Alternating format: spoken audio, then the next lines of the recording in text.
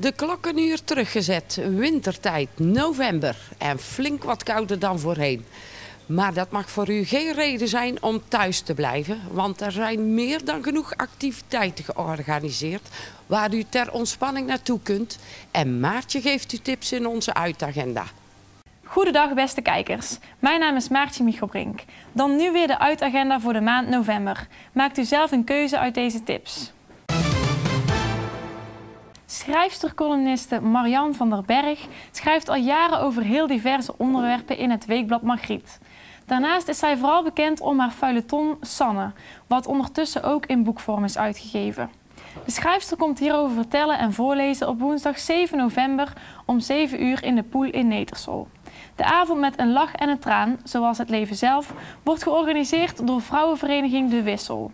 De intree is 5 euro. Meer info vindt u op www.dewisselnetersol.nl.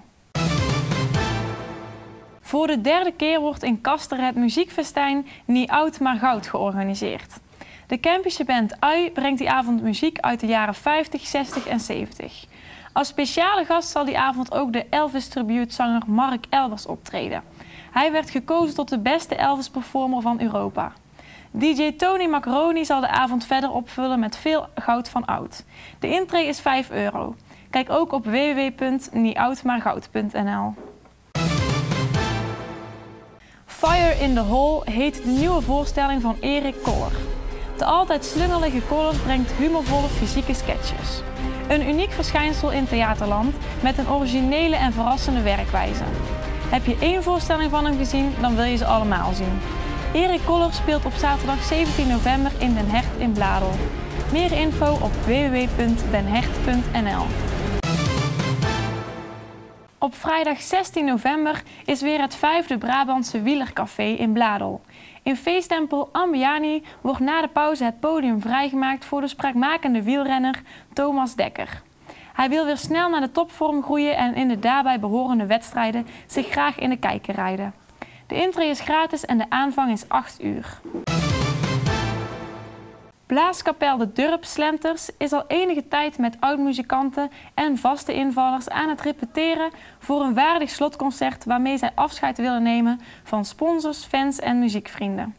Na 34 jaar heeft de kapel besloten om ermee te stoppen. Het slotconcert begint op vrijdag 23 november in de Kei in Reuzel om 8 uur. U kunt gratis intreebewijzen bestellen bij info.durpslenters.nl. Sint Joris uit Hogeloon is druk bezig met de organisatie van Vrienden van Sint Joris Live, dat gehouden wordt op zaterdag 17 november in de Naanloop. Tijdens dit concert wordt de show en drumfanfare vergezeld door de gastenartiesten Peter Bons, Lea Maandongs, Anne en X-Factor winnares Rochelle. Kaarten in de voorverkoop kosten 10 euro en meer info vindt u op www.stjoris.com. Op zondagmiddag 18 november vindt voor de 22e keer het najaarsconcert plaats van de Kempische Egerland Vreunde. Als gastkapel verwelkomen ze dit jaar de Maasgalmkapel uit België. Het concert begint om 1 uur en vindt plaats in Cultureel Centrum Den Hert in Bladel. De intree is helemaal gratis. Kijk ook op www.kempischeegerlandvreunde.nl Kom ook eens een kijkje nemen op de gezellige markt met allerlei unieke zelfgemaakte producten, zoals taarten, koekjes en ander vers gebak.